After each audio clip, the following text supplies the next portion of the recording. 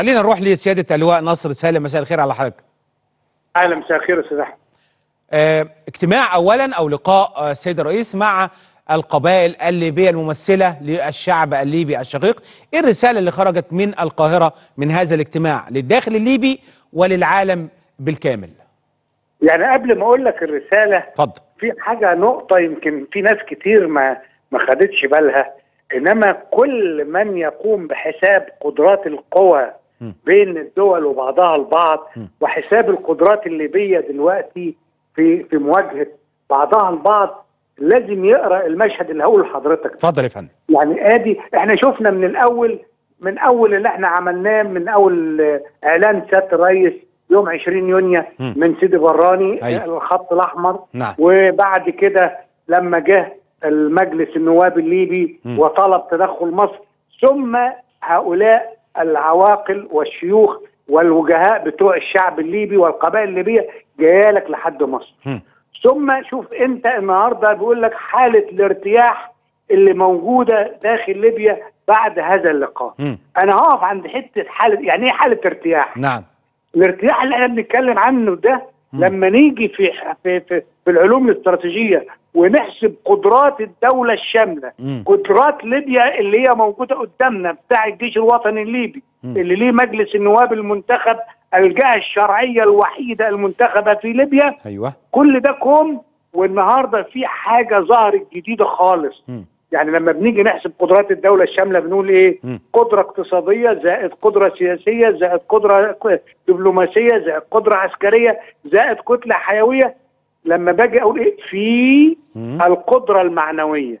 القدرة المعنوية بتاع الشعب دي بتضاعف باقي قدرات الدولة أو تخسف بها الأرض مم. يعني لو القدرة المعنوية صفر ولها كل القدرات التانية ديت أي أرقام هيبقى الحاصل في النهاية صفر لكن بعد حالة الارتياح والارتفاع الروح المعنوية وزيادة القدرة المعنوية للشعب الليبي بالشكل ده مم. أنا بقول إن الجيش الليبي مع الو- الوطن الليبي والشعب الليبي ده مش هيقدر عليه حد مم. لو تركيا كلها دخلت بجيشها على الشعب ده مم. مش هتقدر مم. مش بقول إن إحنا مش مش هنتدخل معاهم لا ده مم. حتى دول لوحدهم لو واجهوا بهذه الروح المعنوية والروح ال- ال- ال- اللي إحنا شايفينها قدامنا كل القدرات بتاعتهم تضاعفت.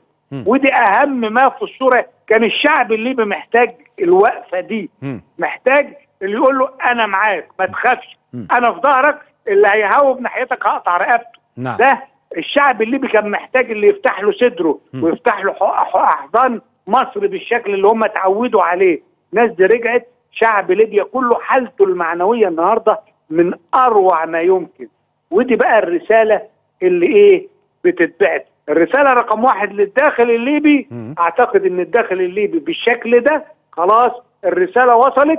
وهذا الشعب على درجة من نقول إيه الصمود مم. التحدي مم. التضحية بلا حدود مم. وده أهم حاجة كنا عايزينها من الشعب الليبي في الأول آه. ثم رسالة إلى العالم الانتهازيين اللي جايين يشتروا ليبيا وعايزين يستعيدوا الملك العثماني العفن مم. عشان خاطر الأخ اللي اللي جابوه قال لك اقعد على كرسي ليبيا فعشان يقعد بيبيع لهم ليبيا مم. بيبيع ليبيا عشان إيه يقعدوه على الكرسي شوية راح مضى معاهدتين معاهم أو اتفاقيتين مم. وجاي يفتح لهم ليبيا ادي الرسالة أهو هو ده شعب ليبيا مش السراج اللي مضالك وبلا سند وبلا قانون مم. وبلا وبلا أي- شرعية أصلا وبلا وبلا تفويض شرعية آه الشعب اللي ليه شرعية أهو آه. خلي بالك وده اللي هيقف وده اللي هياكلك باسنانه مم. الشعب ده. أبناء القبائل دي شوف كلهم هم قدامك شوف شكلهم إيه؟ الناس دي هتفرمك اوعى تعتمد على إن واحد خاين باع بلده ليك عشان ما إنه يقعد على الكرسي سنة ولا سنتين زيادة ولا يومين ولا مش هيلحق يقعد وباع لك ليبيا ببترولها بغازها وكل اللي فيها عشان تستعيد ملك ال- العثماني العثماني. اللواء نصر امبارح آه، على بعد خلال هذا ال- ال- ال- اللقاء اللي قدام حضرتك وقدام السادة المشاهدين تلاقي الإعلام الإخواني والإعلام القطري والإعلام التركي فيه عندهم أكنه عندهم حد مات. بمعنى الكلمة بقول لحضرتك يعني اولا آه، طبعا وشوشهم كلها سودة طالعين هو يا مصر ليه؟ هو إيه اللي بيحصل؟ آه هم القبائل دول راحوا إزاي؟ هو إيه اللي بيهدد مصر؟ وإيه اللي بيخوف مصر؟ إيه إيه إيه اللي خلاهم يعني حسوا بخ- ب- بأهمية هذا اللقاء؟ إنه كلام أهم- مصر أيوه اتفضل يا فندم. آه بص حضرتك يعني أنا بتابع ال- الرئيس أردوغان لما كان بيتكلم قدام الإعلام هناك في تركيا وبيتكلم عن مصر فبكل صلف وبكل غرور وبكل قلة أدب لا لا لا مصر قال يعني مش عايز يتكلم على مصر. لا لا أنا مش مصر مش في دماغي. ده هو بيتكلم يعني هو مش عارف مين ال- اللي نزل على قفاه إنما مش عايز يجيب سيرته دلوقتي خالص. لا لا لا أنا مش بتكلم على مصر. أنا ما تهمنيش مصر. مم. فالنهاردة لما حصل ال- ال- الموقف ده لأول مرة بيقول لك لا ده إحنا لازم نعمل اتفاقية تانية مع مع حكومة الوفاق وندخل فيها الأمم المتحدة. وده مش هيحصل. شجاع. ما تخليك شجاع كده. وتكمل مشوارك صح. بدل ما انت بتدفع مرتزقة وبتموله من الخزينة الترك ال- الليبية الليبية. ما تيجي تورينا جيشك اللي انت عامله الجيش اللي انت قلعته هدومه وسحلته في الشارع آه ده دول هم دول اللي عايز تحارب بيهم مصر مم. ما تجيبهم وتيجي ورينا مم. مش هيقدر مم. هو من هناك من بعيد ممكن أقصى ما ما يعمله إن هو من البحر يفرقع له كام صاروخ من بعيد. يطير كام طياره اللي هم بتوع آه، مصنع بتاع جوز بنته زي ما آه. حضرتك بتقول آه. يخشوا وهو يدخل دول السوريين اللي أنا متوقع مم. أول ما هتقوم وطيس الحرب دول هيرفعوا الراية البيضاء ويجوا يسلموا نفسهم لأن ما لهمش قضية يحاربوا عنها المرتزقة هم متاخدين أهاليهم رهائن هناك خدهم في, في تركيا وطلعوا حاربوا عشان نخلي اهاليكم هنا ونحافظ عليهم على أرضنا مم. إنما أول ما هيلاقوا العملية فيها موت مم. وفيها حرب حقيقية مش هيحاربوا مم. وهيسلموا نفسهم فده اللي هيحصل يعني إذا ال- ال- ال- الصورة اتقلبت تماما نعم. اللي بيقول لك أنا هعمل وهعمل وهعمل ومصر دي إيه لا ده عايز اتفاقية وعايز الأمم المتحدة تيجي تحميه تحمي مين. تحمي واحد لص. قرصان جاي يسرق شعب وعايز يستعيد امبراطورية عفنة. الامبراطورية العثمانية. مين اللي هيقف جنبه مم. الأمم المتحدة هتقف مع مين ضد مين فهو ادي أدي الرسالة والرسالة الأهم بقى للمجتمع الدولي كله آه. ادي الشعب اللي قدامك أهو. ما بنجيبش لا جبنا واحد على فرقاطة وقلنا له تعالى خش أنت رئيس ليبيا مم. وأنت رئيس منتخب ولا هو من- رئيس قصدي عليه توافقي ولا عليه توافق ولا مجلس النواب فوضه زي ما اتفاق السخيرات بيقول ولا ليه لازمة. انتهت صلاحيته من أول سنة زي ما كان الاتفاق بيقول. م- مقررات برلين. فاذا انت دلوقتي بنقول يا مجتمع دولي أدي الشعب الليبي أدي ليبيا الحقيقية قدامكم. إما إن أنتوا تقفوا مع السلم والأمن الدوليين وحقوق هذا الشعب في حريته وفي أرضه أو ما تحدش بقى يبكي على اللبن المسكوب لما تجدوا السلم والأمن الدوليين بقوا خرابة لأن ليبيا الأطول ساحل دولة في مواجهة أوروبا لو لم يكن هناك أمن وأمان فيها تبقى إيه؟ المعبر بتاعه الهجرة غير الشرعية لإفريقيا كلها. كل اللي عايز يهج على أوروبا بيجي على ليبيا زي ما شفنا في الأيام اللي فاتت قبل كده. نعم. كل الهجرة غير الشرعية اللي جاية من إفريقيا ليبيا هي المعبر نعم. والتجار والسماسرة بياخدوا الناس دول ويعدوهم ويلا على إيطاليا يلا على فرنسا يلا على اليونان فإذا السلم والأمن الدوليين في خطر وعلى أوروبا بالتحديد وعلى العالم كله أن يتحمل مسؤولياته مع هذا الشعب المحترم الأبي في الحفاظ على أرضه على وحدته على مقدراته في مواجهة هذا المحتل العثماني اللي جاي عايز يحتل هذه الدولة. إيه اللي- هذه الرسائل اللي بترسل من هذا اللقاء اللي إحنا شايفينه قدام عينينا. سيادة اللواء نصر إيه اللي يملكه أردوغان على الأرض في ليبيا؟ إيه اللي يملكه؟ ه- إيه ال- إيه المنظومات؟ إيه اللي إيه التسليح اللي ممكن يبقى موجود عنده في يا ليبيا؟ أستاذ أحمد ما هو راح حط أحدث أسلحة عنده في مطار الواطيه اتضربت آه. في ثلاث دقائق نعم. مش حط أحدث أسلحة عنده في مطار الواطيه صحيح. إيه اللي حصل فيه؟ نعم. ولو حط أي حاجة تانية أصل السلاح بالمقاتل مم. السلاح بالمقاتل اللي بيحارب عليه لحد ما ي- نفس الأخير مم. مين اللي هيمسك السلاح ده ويقف قدام طيارة جاية تضربه ولا صاروخ جاي عليه مم. ده بيجري أول ما بي... يسمع صفاره انذار حتى لو شاف صاروخ جاي في الرادار جاي عليه هيسيبه ويجري مم. مش دول اللي هيقعدوا اللي هو بيعتمد عليه الإرهابيين دول مم. المرتزقة مم. هيحشدهم ومش مهم مش هيبكي على دمائهم مم. ولا الشعب التركي هيحاسبوا عليهم مم. إنما هو لو راجل ينزل لي كتيبة تركية عشان تروح له في أكفانها بعد كده وتنزل على اسطنبول كده أكفان نازلة وصناديق نازلة شيء ده لو سيادتك بتقول معلش يا فندم مرة بتقول لو راجل ينزل كتيبة تركية هترجع ينزل كتيبة واحدة من تركيا آه ما يدفعليش ناس مرتزقة غلابة جايبهم ما- ما- غلابة إيه؟ ده مجرمين. دول مجرمين مش غلابة دول مجرمين. وإزاي لا يقبلوا؟ والله ابدا. لا، مجرمين. لا، إحنا هنعملهم على مجرم إرهاب. أيوه ما ده لا أنا بعامله. إرهاب يا فندم. هنلمهم فاص آه وهنحترمهم. بس وهنرجعهم تاني. بس يجوا يجوا ما يخافوش. أنا بطمنهم أهو. بقول لهم ما تخافوش بس تعالوا. بس ارفعوا الرايه البيضاء وتعالوا. وإحنا مش هنعمل فيكم أنتوا عارفين إن أنتوا ضحية أردوغان؟ مش هنضربكم. بتطمن ولا؟ الشعب اللي ب... ولا الجيش اللي هيضربكم حضرتك بتطمن؟ هناخدهم ونرجعهم له كده في, كده زي القرود يرجعوا على بلدهم يبقى شعبهم يحاربهم حضرتك يحاربهم. لا لا تاني يا فندم رسالة بتطمن مين يا فندم كده أنا بطمن بطمن بط- بطمن بطمن ال ال ال ال أقول إيه الناس اللي هو جايبهم الإرهابيين دول بقول لهم أنتوا تعالوا أول ما توصلوا أول ما ترفعوا الراية البيضاء اطمنوا مش هيعمل فيكم حاجة. إنما عايزين تحاربوا هت- هتو مي- لا ارضكم ولا ليكوا فيها حاجة لا ناقه ولا جمل. حضرتك بتقول له سلم من بدري ارفع الراية البيضاء من دلوقتي رسالة لي والله اللي جيت رفعت الراية البيضاء أنت هنعاملك معاملة الأسرى. آه. زي ما ديننا قال وزي ما وهنكرمك. تمام؟ ويعني زي ما ربنا قال ويطعمون الطعام على مسكينا ويتيما وأسيرا. الأسير حتى أهو هنطعمه وهن- وهنعامله معاملة هنكرمه تماما. امم إنما ركبت دماغك يبقى أنت اللي خدت الطريق الغلط. مم. فأدي بس عشان أردوغان ما إيه ما يضحكش على نفسه ويتخيل إن الناس دي هتخش جحافل. لا دي أول ما هتدخل وده الجيش اللي قلعه اللي عايز ي- لا الجيش بتقول لا له ابعت لي. كتيبة من طب دول. والنبي مين في دول هيحارب دفاعا عن أردوغان؟ دفاعا عن أردوغان. آه.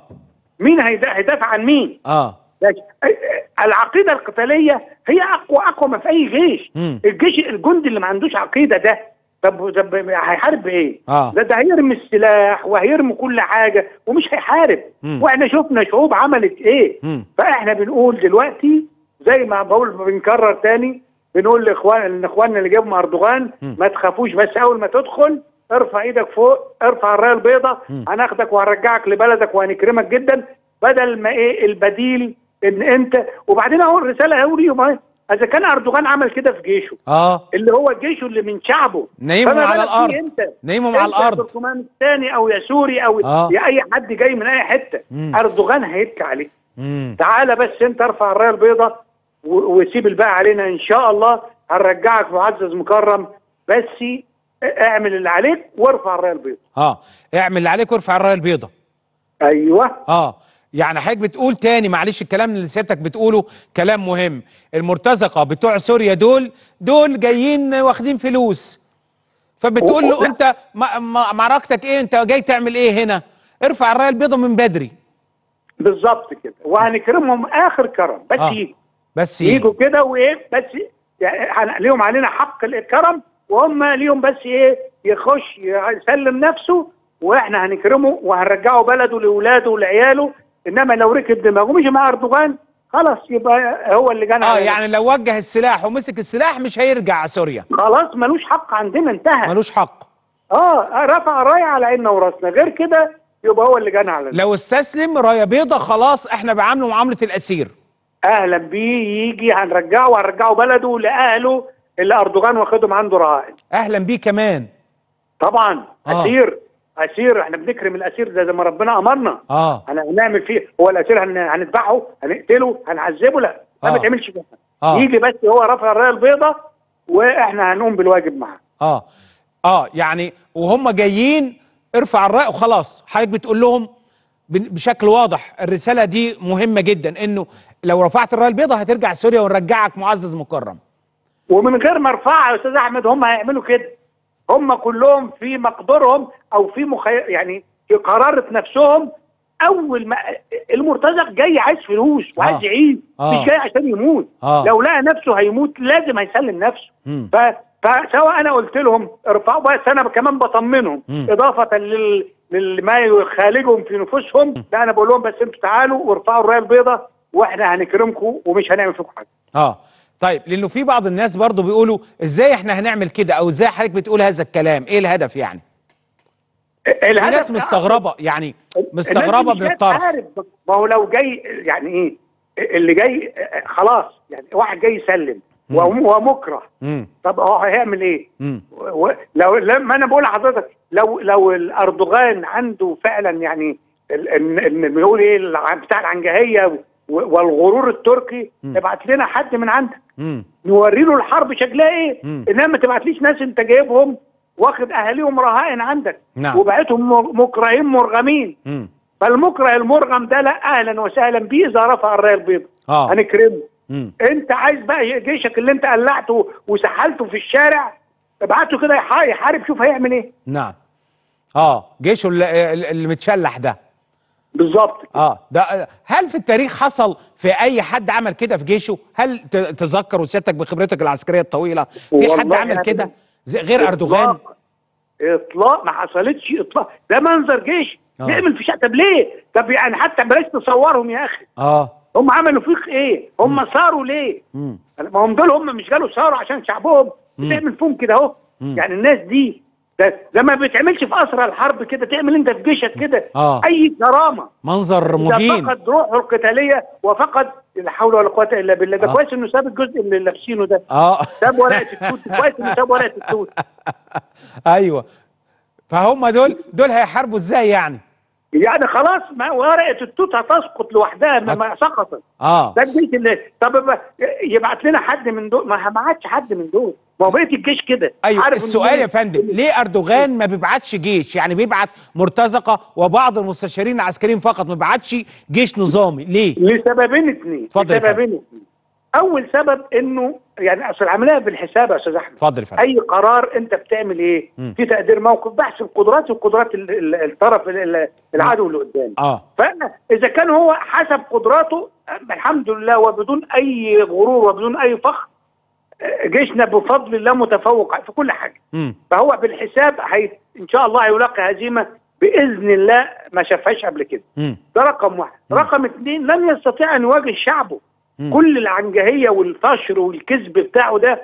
طب تخيل بقى تاني يوم الناس دي رايحة وراجعة له في صناديق. وعمالة كل إيه ده لو رجعوا هي- هيواجه الشعب بتاعه يقول له إيه؟ يقول له أنا بعت ولادكم يم- يموتوا هناك. مم. عشان أجيب لكم شوية غاز ولا شوية بترول. هيقول له بلاهم الغاز والبترول ده كنت سبت ولادنا وكنت سبت الناس دي عايشة هنا. امم إنما فده دول السببين الأساسيين ولذلك هو عمال من دقنه وفتله زي ما بيقولوا ال- ال- الليبيين بيدفعوا مم. وهو بيجيب الناس اللي بيرغمهم دول خدوا 2000 دولار في الشهر وولادك عندنا واطلع حارب. امم يموت 10 يموت 20 ألف يموت اللي يموتوا إنما هو بعيد. وحتى الطيارات اللي بعتها ما فيهاش طيار. ده بعت طيارات مسيرات يقع كل الطيارات ما خيرهمش حاجة. اهو فلوس والفلوس اللي بيدفعها اللي بيجيب. مم. بيضرب شوية ذخيرة من البحر من بعيد مم. شوية صواريخ هيضربها على ال على ال- المواقع الليبيه اللي بتاع الجيش الوطني. نعم. وطبعا الجيش الوطني ما شاء الله عنده منظومتين دفاعيتين. آه. لا إيه دول؟ هيعدي ولا جن ازرق هيعدي. اشرح لنا يا فندم ال S 300 والثانيه أعتقد بوك؟ آه. الاثنين دي S 300 ده مداها 250 كيلو ضد كل الصواريخ وال... اللي على المدى البعيد والبوك ده على الصواريخ المتوسطة. امم يعني هو مغطيين نفسهم الحمد لله كويس جدا والجيش الليبي الوطني خلاص خد اتعلم. امم يعني مش معنى إن هم خدوه ب- على غره زي بيقولوا ومفاجأة و... و... وكسبوا منه جولة إن هو خلاص. مم. لا لا لا لا, لا. مم. يعني الأرض في, في ليبيا ملهاش قيمة. القيمة في الأهداف. لأن الأرض صحراء مفتوحة. إنما القيمة إن أنا أقعد على على مطار أقعد على مدينة أقعد على حقل بترول حقل غاز في أو في م- مناطق اللي هي الأهداف حيوية. مم. مش ال ال الأرض المفتوحة دي كلها لا قيمة لها. بس صحراء بندافع عن أهداف على الأرض. منا- مناطق حيوية مناطق ذات قيمة. إنما اجري في صحراء ليبيا اجري بعشرات الكيلومترات مئات آلاف الكيلومترات اجري زي ما أنت عايز. إنما أنت فين؟ هي دي المهمة دي كلها. منظوم ال ال هل حضرتك بتتكلم على طيارات مسيرة فقط؟ ما عندوش مقاتلات ممكن يبعتها أو يجيبها أو تتحقق أو, طب أو يا ريت يدفع أنا ما أنا إزاي؟ بسأل سيادتك. أي يا ريت يدفع يبعت هيبعت مين؟ آه. هيبعتها هيحطها فين؟ في, أي مطار؟ آه. في مطار مصراتة ولا مطار الواطيه آه. هيتضرب زي ما اتضرب الواطيه قبل كده. آه. يعني الجيش الليبي ما شاء الله زي ما ضربوا في الواطيه هيضربوا في أي حتة يروح فيها. آه. هيدمر له طياراته. نعم. ولو قابلهم في, في, في, في قتال جوي برضه هو اللي هيخسر مم. لأنه جاي منين ده جاي يشوف 2000 كيلو رايح 2000 كيلو يعني مين اللي هيدفع ده مم. ماهوش أمريكا ولا روسيا ولا ولا فرنسا عشان خاطر نقول عنده مم. إمكانية إنه يحارب خارج المسرح بتاعه مم. ده هو بيتدرع هناك يروح يضرب كام طلقة هناك في سوريا ولا في العراق يعدي الحدود ويرجع مم. إنما عشان يجي لي عبر ال- المتوسط ده كله ويجي يقاتل مم. أنا بقول لك الجيش الليبي لوحده هيقوم بالواجب معاه. هيقوم بالواجب. لا يعني هو صعب إنه يبعت مقاتلات. ده أقصد إنه مش هيبقى عنده غطاء غطاء جوي. لو اتحرك ما يبقاش عنده غطاء جوي أقصد. هيبقى صعب بالنسبة له جدا جدا وتبقى خسايره آه، يعني تفوق أي آه، توقع. وبالتالي هو كل اللي هيعمله كمعاونة نيرانية بالطيارات المسيرة وبصواريخ من القطع البحرية. هتتضرب م- عن آه بس الطيارات. المسيرة هتعمل إيه؟ الطيارات المسيرة قدام آه، يعني اس 300 وغيرها وغيرها يعني. هتتساقط زي الذباب آه. هو أردوغان عارف كده؟ يعني دي حساباته؟ ما هو شايف قدامه بس هو هو يعني انت عارف المثل هل هو عايز يتراجع ومش مش قادر؟ يعني مش هل. آه هو, طبعا. هو عايز. يتراجع ومش قادر ياخد قرار مثلا؟ حس إنه اتورط؟ هل. حس إنه اتورط في ليبيا؟ انت عارف لا آه، انت عارف الايه؟ آه، هو عايز يضغط مم. لحد حافة الهوية إنه ياخد أي حاجة. امم يعني عايز إيه؟ أنا هحارب وآخد سيرت وآخد الجفرة. مم. طب ما تقرب ما اعمل لي. مم. لا وأنا الخط ده مش هوقف إطلاق النار. عشان لما يجي يتفاوض بقى يقعد بساذج كيسنجر بقى في التفاوض. علي السقف في التفاوض على الآخر مم. فهو متخيل إنه كده بيضغط مم. دخول مصر على الخط بالشكل ده نزلت كل ال- الأسهم بتاعته مم. لأنه كان الأول بيقول لك آه لأ هناخد آه، سيرة الأول الجفرة وبعدين نوقف إطلاق النار طب ما هو الخط قدامك حد هيشك. حد ده مش حيشك هيقدر آه إنما هو كل ده عايز ياخد مكاسب سياسية لما يقعد على مائدة المفاوضات على الأقل يضمن ان الحكومة تيجي ما تلغيش الاتفاقيتين اللي اتعملوا بتوع السراج مم. اللي هو بتاع ترسيم الحدود وبتاع الاتفاقيه الامنيه مم. مش مشكلة الاتفاقيه الامنيه إنما على الأقل يضمن حصة في في البطرول مم. أو أيوه في مين اللي. هيديها له ده بترول الشعب الليبي هو مين اللي هيديله بترول هو بلطجة عايز يضمن إن السراج يقعد أو حد تبعه يقعد. مش هيقعد الشعب الليبي هو اللي هيقرر بس طبعا لا يمكن هيقرر. يجيبه ما عشان كده هو متشبث بالأرض لآخر مدى. آه. تمام؟ متشبث على الآخر. والسراج هو ده الوحيد اللي إيه؟ مم. اللي هو مأجره. مم. جايبه على حسابه. نعم. بيشغله ليه. نعم. فلو جه حد تاني ما ملوش أجندة معاه مم. هتبقى هيبقى خسر كل حاجة. طب سيادة الرئيس سيا- سيادة ال- ال- اللي هو دكتور نصر آه، سيادة الرئيس يوم الخميس مع آه، أشقائنا القبائل ال- الليبية آه، المحترمين. قال كلام في غاية الأهمية. قال إن إحنا مش هنسمح يبقى في بؤرة جديدة تتجمع آه، في آه، ليبيا على حدودنا أو بالقرب من الحدود المصرية حتى لو كلف ذلك تدخل مصر بشكل مباشر لمنع هذا الأمر. إيه تحليل حضرتك لهذا الكلام؟ أيوه. أنا بص حضرتك أنت دلوقتي القانون الدولي آه. بيعطيك الحق. مم. حق الدفاع الشرعي عن نفسي نعم. أنا شايف واحد رايح بيحط مدفع وهيضربني الطلقة. أستنى لما الطلقة تمشي 20 30 كيلو وتجيلي أو الصاروخ يمشي 100 كيلو ولا 500 كيلو ويجيلي ولا أضرب الصاروخ ده في مكانه قبل ما يجي في مكانه قبل ما يتحرك.